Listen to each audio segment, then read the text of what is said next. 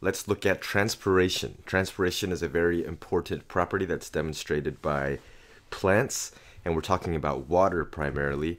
So uh, we're actually talking about the loss of water vapor from the leaves and stems of plants. And there's something called transpiration pull, and we're going to go through this. But basically, you should know that when you water plants, uh, what I used to do as a kid when I was forced to go outside and water the plants was I would try to just spray the water directly onto the leaves, hoping that that would actually work. But what I didn't realize was I was actually clogging up the pores of the stomata when really a plant can only take up water through its roots. So the movement of water it goes up through this way. So I really should have just been uh, watering the soil around it.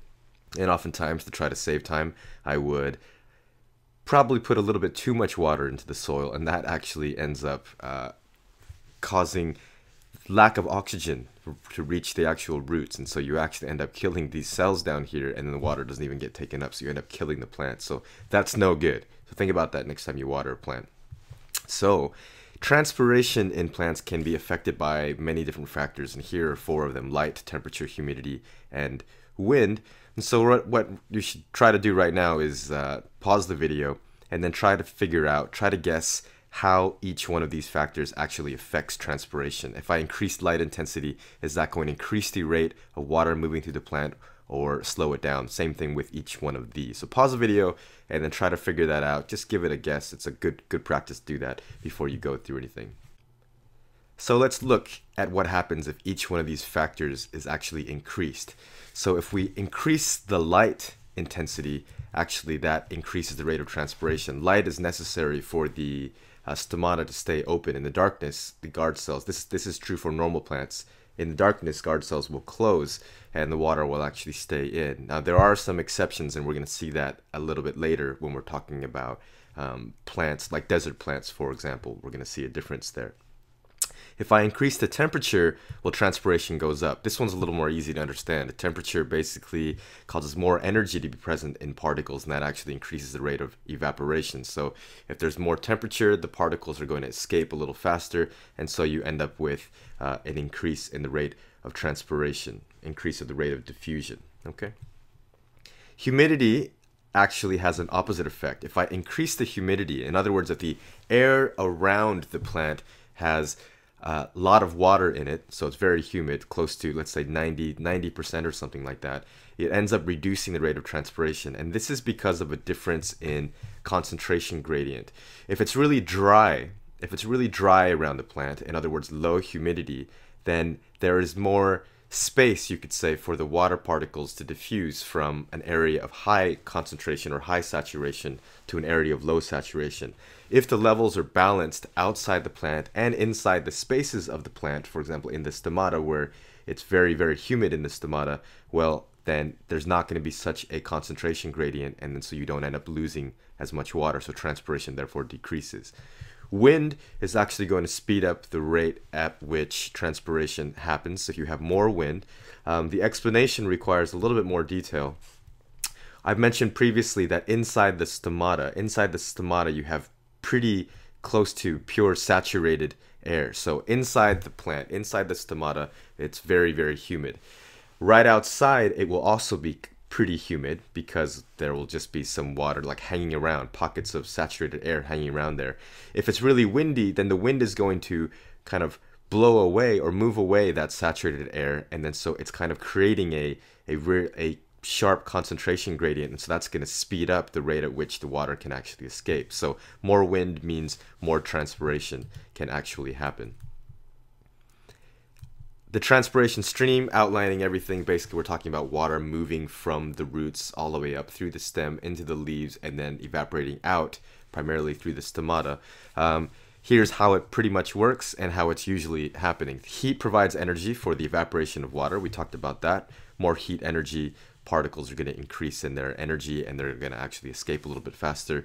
When that water escapes because of transpiration pull or the cohesion, the cohesive bonds between the water molecules. So as water molecules leave, these water molecules get pulled up. It's the same way uh, a straw works, basically. So this, I don't know what this guy is, but when he's sucking up water, when he's sucking up the drink, the pressure, the change in pressure, and also the this the connection of between all the particles, the liquid particles, due to cohesion or hydrogen bonds, it's going to be pulled up there.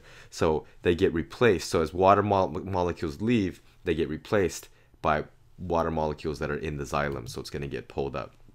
It's called capillary action, and then it gets actually pulled up, and it's hydrogen bonds we talked about.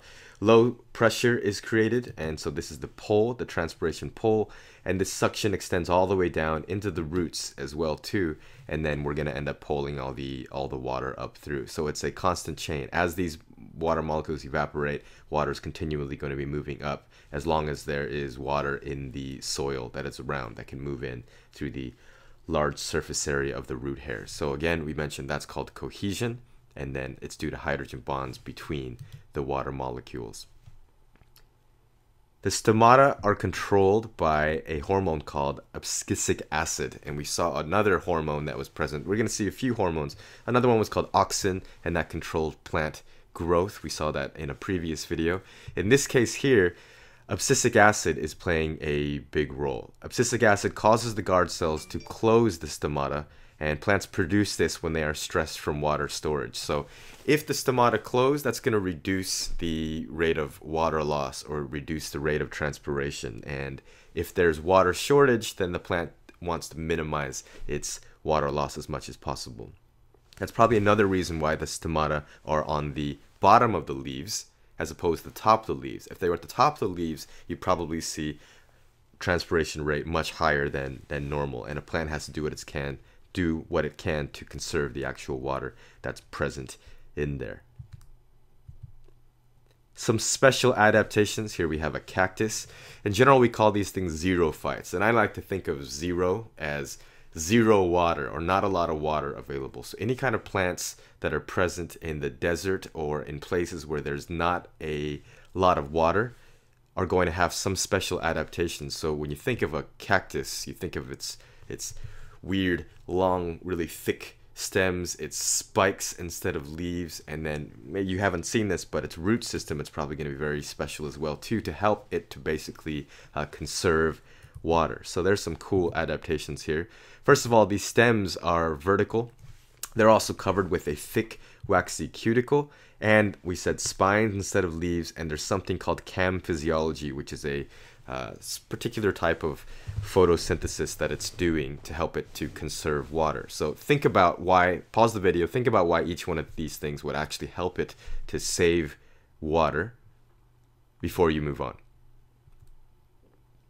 Okay, the vertical stems, they're helping to absorb sunlight early in the day. So as the sun rises, you get a lot of light coming in from the side, and as the sun sets, you get a lot of uh, light coming in from the side as well. And this this is where the photosynthesis primarily takes place. I mean, the leaves are just spines; they're not really, really, they're not really doing that. But when the sun is directly above, that's when the temperatures are really, really hot. You're likely to lose a lot of water when the at, at midday noon basically so when you can think of when the sun is directly above there's relatively little surface area that's exposed to the direct light here and uh, it's going to help it to save a little bit of water the thick waxy cuticle that's just a like a few extra layers of wax to prevent water from being lost uh, the top of leaves are also waxy in this way the cam physiology uh, changes how and when the stomata actually open. So the stomata actually stay closed during the day. This is different from what we mentioned previously um, in regular plants, where the presence of light actually opens the stomata. In this case,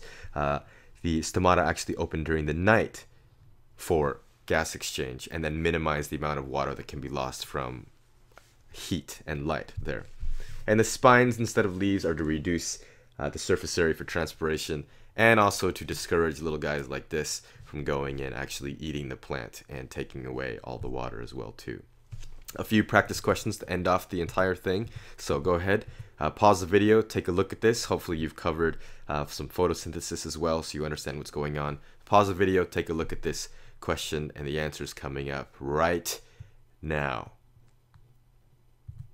And one more question which hormone is involved in the closing of stomata. This should be fresh in your mind. Should should be super easy. But uh, there are a few other hormones there: auxin, gibberellin, indoleacetic acid. The correct answer for this is obviously abscisic acid. So that's everything you need to know about transpiration. So uh, go through and try to figure out how would you change this question to make each one of these uh, at least auxin and gibberellin. This is not one you really need to know for the IB biology syllabus, but definitely you need to know these two, and you'll see those in some of the other videos. All right.